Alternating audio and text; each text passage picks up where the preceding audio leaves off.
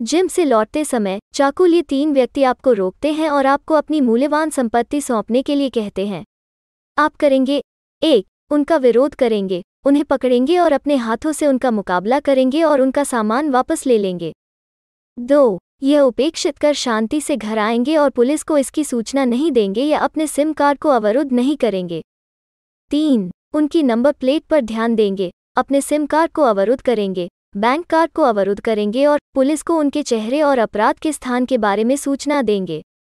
चार, घर लौटने पर अपने मित्रों और परिवार के सदस्यों को इकट्ठा करेंगे और अपराधियों की तलाश के लिए उसी स्थान पर वापस जाएँगे। आप अपने मित्रों के साथ कॉलेज ट्रिप पर जाते हैं और वहाँ आपने देखा कि आपके कुछ मित्रों ने किसी मुद्दे पर बहस शुरू कर दी है। आप मध्यस्थ बनना चाहते थे, लेकिन उनमें से एक आप पर पक्षपात के लिए संदेह कर रहा है। आप करेंगे। एक, मध्यस्थता बंद करेंगे और उन्हें अपने विवाद को स्वयं हल करने देंगे। दो, उसके संदेह की भरपाई के लिए उसका पक्ष लेना शुरू करेंगे। तीन, मामले में हस्तक्षेप करने और निपटाने के लिए पुलिस को बुलाएँगे। चार, उसे अपने निष्पक्ष दृष्टिकोण का एहसास कराएँगे।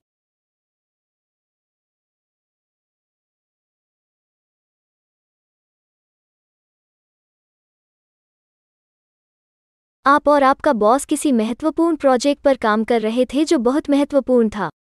इसलिए किसी विषय पर चर्चा करते समय, आपके बॉस ने आपकी बात को नज़रअंदाज करना शुरू कर दिया। आप करेंगे। एक, अपने बॉस से बहस करना शुरू कर देंगे क्योंकि उसने आपको अनदेखा करना शुरू कर दिया है। दो, वहाँ से चले जाएँगे। तीन, अपनी बात का समर्थन करने के लिए तार्किक और मज़बूत बिंदुओं का उपयोग करेंगे। चार, किसी तरह से उन्हें परेशान करना शुरू करेंगे।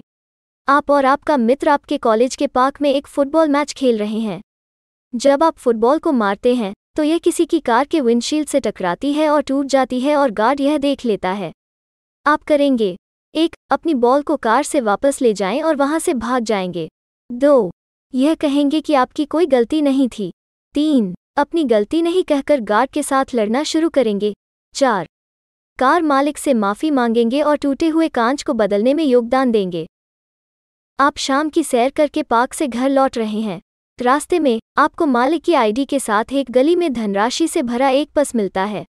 आप करेंगे। एक, धनराशि का उपयोग करेंगे और पस को फेंक देंगे।